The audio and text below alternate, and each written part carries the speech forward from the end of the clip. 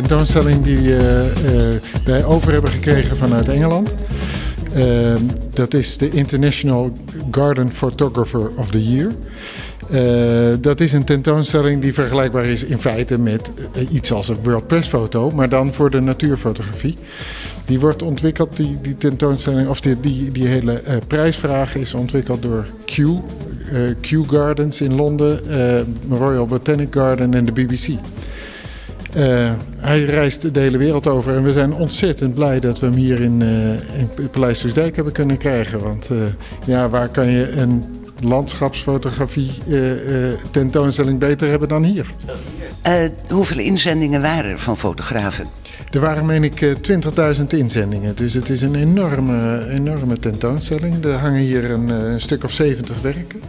En uh, dat zijn dus de, de prijswinnende of uh, uh, bijna prijswinnende werken. En 20.000, het is heel veel.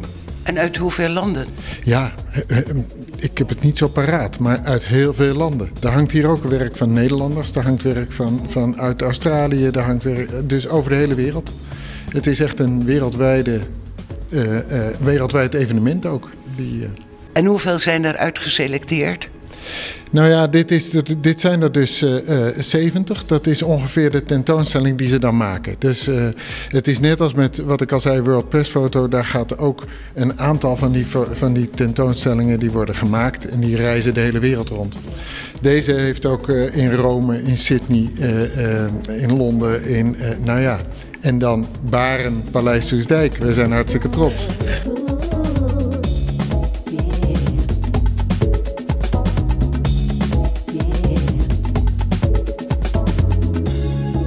En wie is de uiteindelijke prijswinnaar? Dat is ene Magdalena Wasicek. En die heeft die foto die daar uh, hangt... Uh, uh, gemaakt. Het is een wonderlijke foto, want het is een, een kleurencombinatie. Ja, dat spat er helemaal uit. Het, ik kan me heel goed voorstellen dat die gekozen is. En is zij nou een amateur of een professionele fotograaf?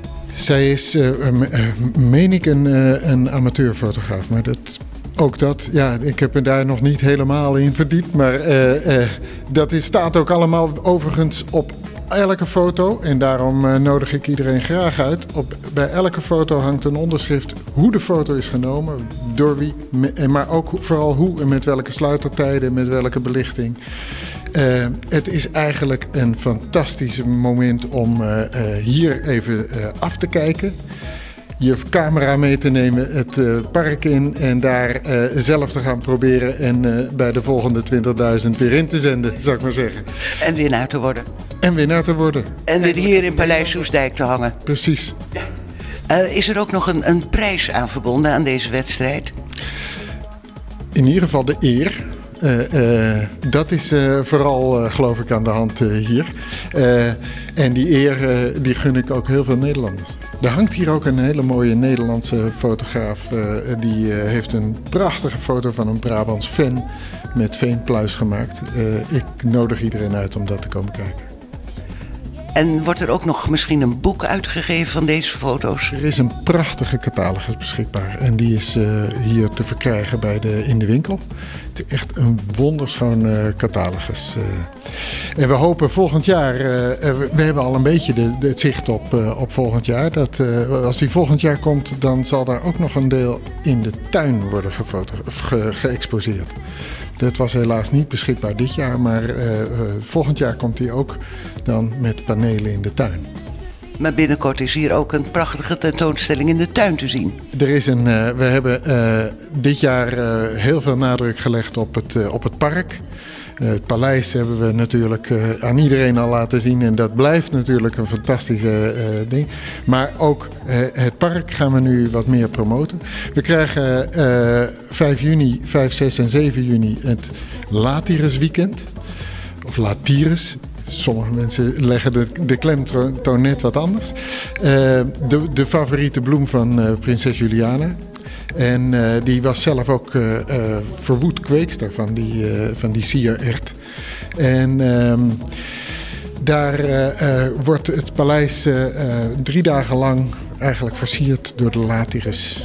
Ook hier, hier binnen in het paleis komen de Latirus.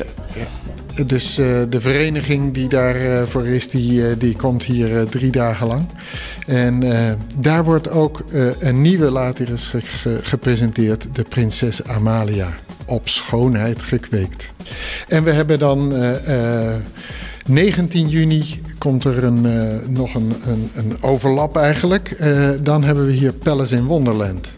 En Palace in Wonderland is een tentoonstelling die is gemaakt um, in eigen beheer. zeven topkunstenaars die hier speciaal voor dit park gemaakte kunstwerken vertonen. kunstwerken die oproepen om. Um, je eigen verbeelding te laten gaan. Uh, sommige mensen zullen zeggen van wat zien we hier nou? We hebben namelijk al een, een deel van de tentoonstelling uh, stond er al omdat die moet groeien. En daar hebben we veel commentaar op gekregen al. maar het is inderdaad Palace in Wonderland. Verwondering over van het van, van met, met, met verbinding van geschiedenis, heden en de toekomst. De nog onzekere toekomst van dit paleis. En is dat hier achter in de tuin of hiervoor?